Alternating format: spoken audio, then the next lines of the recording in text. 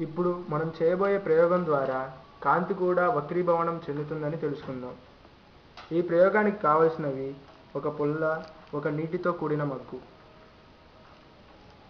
ఈ పుల్ల ఇప్పుడు చూడడానికి నిలువుగా చక్కగా ఉంది. ఈ పుల్లని నీటిలో ఉంచినప్పుడు